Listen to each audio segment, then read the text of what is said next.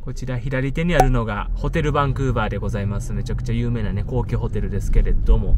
はい、こちらバンクーバーのダウンタウンでございます。ここがね、バラードストリートって言って、バンクーバーにも結構ね、中心的な道でございまして、ここにバラードのね、駅もありますけれども、えー、ここを過ぎましてね、スタンレーパークという公園がこの先、あら、メキシコの旗がいっぱいついてますけれども、何でしょうか？メキシコの旗いっぱいつけた車がね、並んでますけれども、メキシコのパレードでございますでしょうか？ということでございまして、えー、この道をですね、突き抜けるとスタンレーパークに行きます。で、スタンレーパークを抜けると、えー、ライオンゲートブリッジっていうね、えー、橋がありまして、その橋渡ると、今から向かうノースバンクーバーの方に向かいます。ということで今日はノースバンクーバーを皆さんにご紹介したいと思います。そんなこんな言うてましたらですね、バンクーバーの都市公園スタンレーパークに突入しました。はい、ということでございまして、こちらライオンゲートブリッジ見えてまいりました。この緑の橋ですね。両サイドにライオンいたのお分かりいただけましたか？ここを渡るとですね、えー、対岸の方に着くわけですが、ノースバンクーバーとかウェストバンクーバーとかっていうのがあってね、あっちの山って見えにくいと思うんですけど、山の丘の方に立ってるや、あそこら辺バンクーバーのエリアで一番高い、ウェストバンクーバーと言われる地域でございます。で、またこれも見にくいと思うんですが、橋の対岸、向こう側のビル群がダウンタウンですね。で、その右側の森っぽいのがスタンレーパークでございます。はい。で、こんな感じでね。まあ、一応これ海なんですよ。海を渡って、えー、対岸の方へ向かっております。もうしばらくお待ちください。あと言い忘れてたんですけど、ここのね、橋ってね、3車線しかないんですよ。なので、忙しい時間によってね、えー、こっち、私たちが向かってる方に2車線になる時もあれば、逆にね、向こうからこっち、ダウンタウンの方に行く人が多ければ、そっち側が2車線になったりということで、真ん中の車線がね、方向変わるんですよ。はい。で、今ちょうど変わるタイミングで、真ん中のね、あの車線は今、×になってるんですけれども、っていうのも、えー、今からですね、この車線を切り替えて、多分反対側の方が2車線使うようになるわけでございます。ちょっと説明ややこしいですけれども、はい。そういう面白いね、えー、方法をとっております。はい。対岸に言うてるうちに着きました。はい。ノースバンクーバーに着きました。このね、先の方に見えるのがね、バンクーバーのダウンタウンなんですけれども、はい。ちょっとね、街を散策したいと思います。ということで、車止めれましたんで歩き出したんですけど、寒い、やっぱり今日も。ノースバンクーバーね、この私の向かってる方向に海があるんですけど、そっからの風がビュンビュン吹いてるから寒い。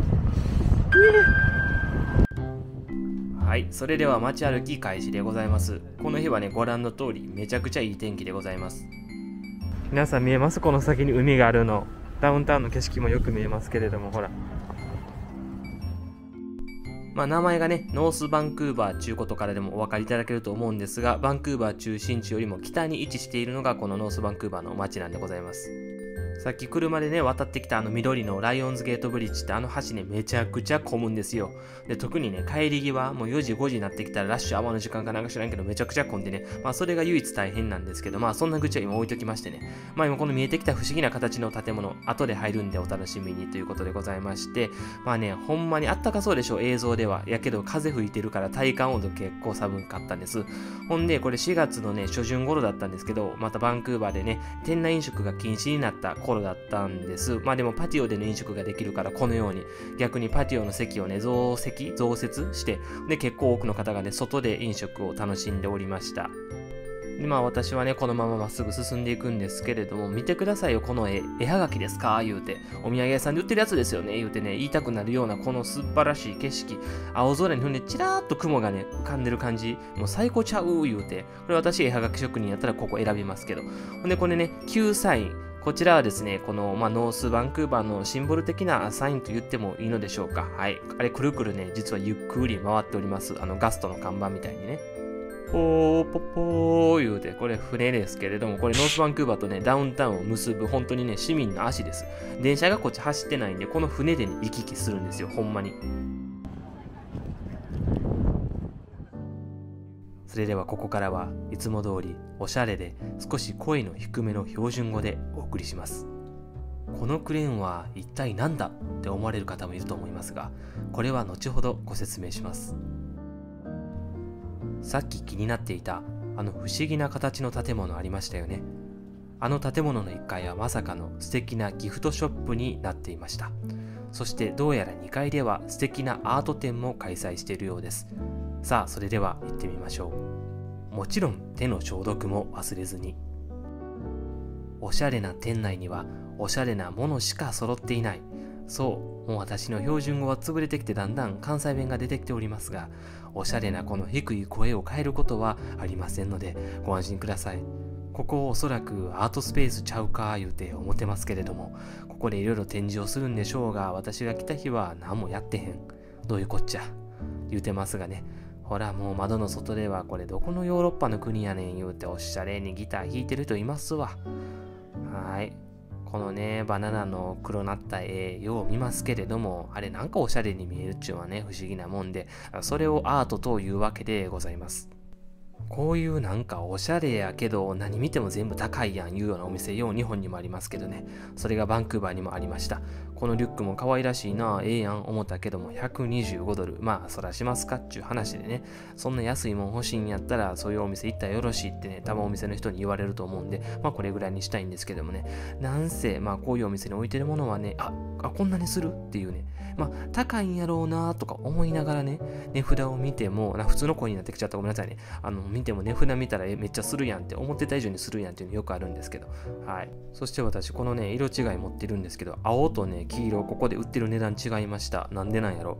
青の方が人気ない色やからか値下げしたんか、そういうの気になっちゃうタイプなんですけれども。では改めてここでもう一度おしゃれに標準語でナレーションをしたいと思います。店内はかなり広々としていて明るい大きな窓からは太陽の光がさんさんと降り注いでいますまた店内で販売されているお皿は山崎春のパン祭りでいただけるあのお皿ぐらいシンプルで使いやすいデザインとなっていますおかずだってローマ字で書いたらこんなにおしゃれになるんですおかずその他店内にはカナダらしくメープルシロップなんかも置いています私はね、あのメープルシロップギザギザなあのいつも典型的なの形の瓶が好きですけどもね。それではいよいよ建物の2階に上がってみましょう。外から見ても面白いこの建物ですが、中の作りもとても興味深くなっています。時々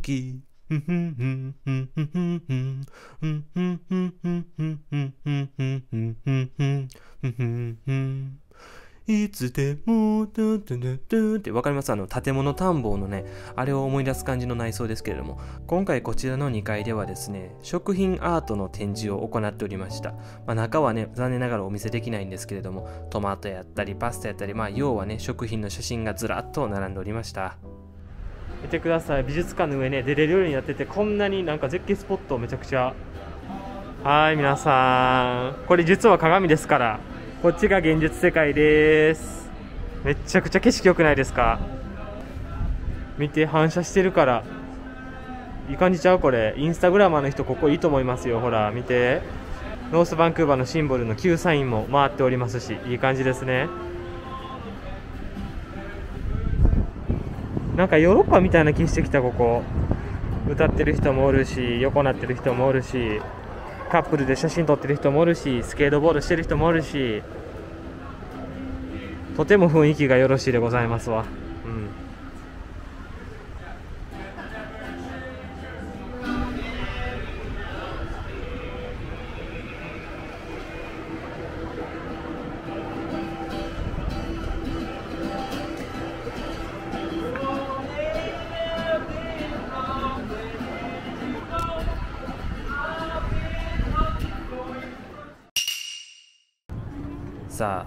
からじらしておりましたこのクレーンなんですがこのクレーン今はアートとして、まあ、置いてあるわけなんですがもともとはですね造船って言って船を作ったりする時に使われていたクレーンをそのまま残しているようでございます。今本当にね行けるところが少ないからもう観光地化してます。ローカルの人で賑わってる感じになっちゃってるけれどもまあでもそんな密はね発生してないかな。大丈夫そうです。今のところ、まあ、密な場所はもちろん避けていこうと思うんですけれども。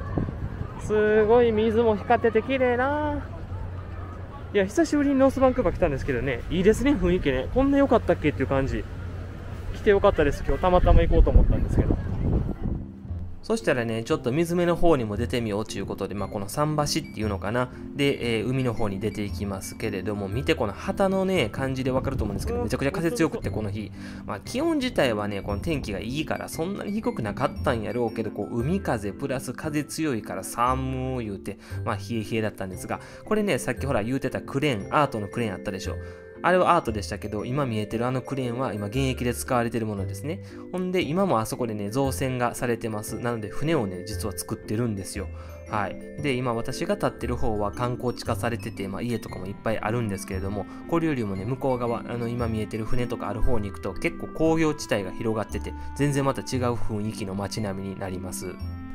海が近い感じとね、このノースバンクーバーもすぐ裏手山になるんで、なんか神戸っぽいなとかっていうふうに思いましたけれども。でもヨーロッパの港町っていうかなんかそういう感じもしたし、かと言ったら横浜の人が怒ってきそうでじゃないですか。まあ、港言うたら横浜や言うて、港町横浜や言うてね、言うてきはったらもう私それ何も言えないんですわ。横浜はね、一回ぐらいチラッと行っただけしかないから、やっぱ関西人の私はね、港町言うたら神戸先出るんです。すいません、横浜の皆さんっていう話でございますが、ノースバンクーバーの人はそんなこと知ったこっちゃないわ、言うて、多分私の話を聞いてると思いますが寒すぎて無理ちょっともう寒すぎて無理です。風めちゃくちゃ強いし何これ？台風警報ですかっていうぐらい。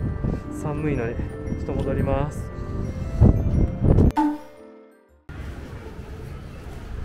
アイスクリームのお店？ここ。あキャンディストアね。こっちは蜂蜜のお店です。へえー。蜂蜜の専門店や。皆さん蜂蜜専門店言うたら山田養蜂場がパッて頭に浮かんだ人何人いました？私は蜂蜜言うたら山田養蜂場がね出ますよね。あれ平日の変な時間に山田養蜂場の CM 昔ようやってました。今やってるか気になりますけど。これね私よう食べないんですけど蜂の巣そのまま。はい。あれなんか美味しいって食べる人いますけど私はよう食べませんわ。はい。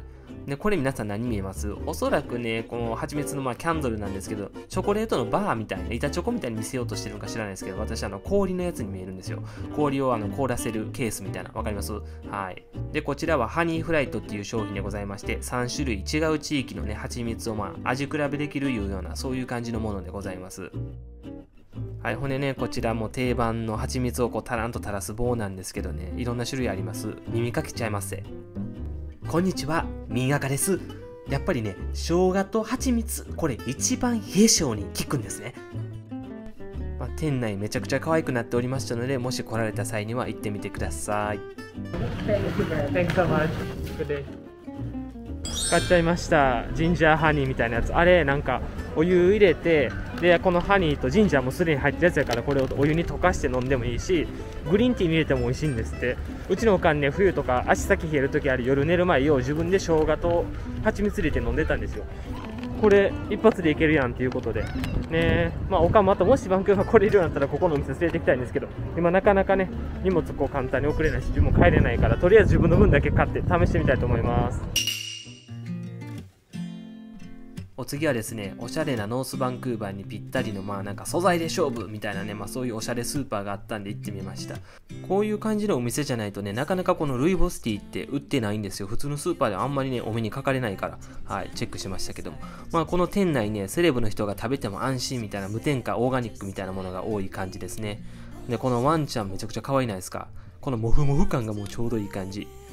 ほんで、このね、自動販売機、タッチスクリーン横についてるんですけど、こういうパターンのやつね、私カナダで初めて見たかもって。日本ではまこんなハイテクな自販機そこら中にね、普通に外とかにも置いてますけど、これ結構カナダでは珍しいな思って撮りました。中に置いてるドリンクも結構健康志向めのドリンクちゃうかな、いう風にまあ想像してますけれど。お野菜もフレッシュです。豆やらスパイスはこっから買うてください。十分に量り売りのスタイルでやらせてもうてます。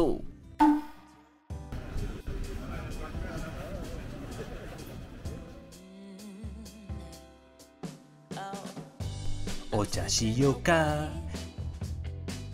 そやお茶しばこややや。この店でええの。ほないときましょかいな。ましょかいな。ましょかいな。ましょうかいがいないな。Hi, how are you?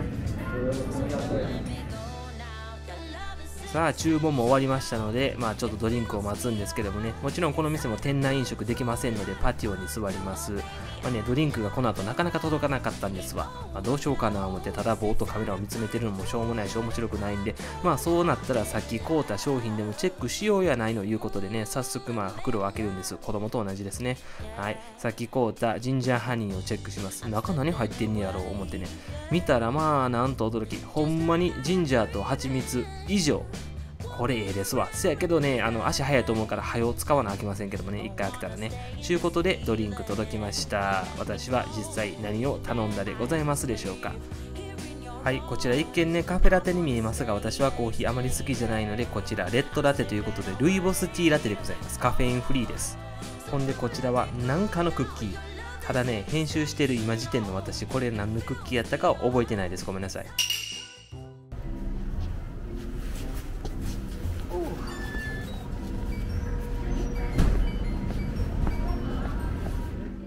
さあ、茶ーもしばき終わりましたので、今度は近くのね、パブリックマーケット、まあね、カナダには要はパブリックマーケットって言われる市場みたいなもんなんですけれども、日本の市場の感覚からしたらね、ちょっとおしゃれすぎるんやないのいう感じの、まあいろいろお店が入ってるモールみたいなもんですわね。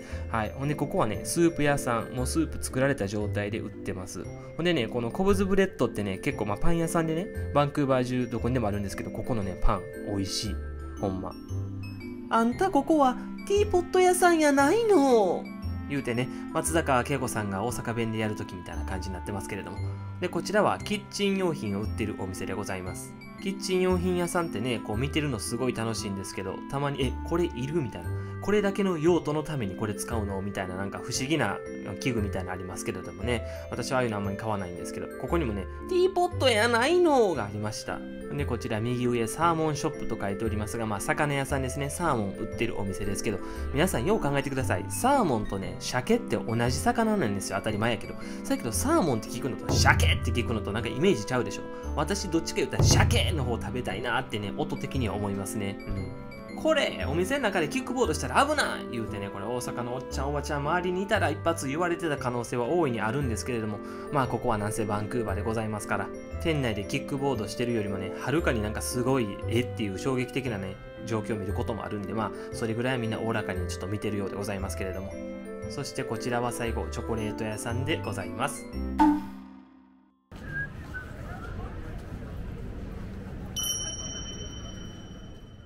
れ？なんかあの冷たい目線なんか見たことあるな思ったらやっぱりゆずと友達柴犬でございますやんか言うてね。バンクーバーもちょこちょこ柴犬をね見かけるようになりました。ゆず飼い出した頃ってねあんまり柴犬バンクーバーで見なかったんですけど最近なんかなんなんこれ空前の柴犬ブーム？みたいな。このワンちゃんもこんにちは言うときますけどもはいなんか柴犬ブームかいうぐらいね最近えらい柴犬があ見ること多くなりましたね。ほんで、これは今ですね、ダウンタウンに向かう船の船乗り場、船着き場に向かって歩いているんですけども、左手見てくださいね。このフラフラフラフラ言うて、これね、カナダの国旗です。皆さんご存知だと思うけど、まあなんかの動画でも言ったんですけど、カナダの国旗ってほんま国旗の癖してめちゃくちゃ可愛いっていうね、憎たらしいやつなんですよ。けど可愛いやつなんですよ。いう感じなんですけれども。はい。みんな風強いね、寒い中、まあ痩せ我慢か知らんけど、外に座るんです。カナダ人はね、太陽が出たら寒くても外に座るんです。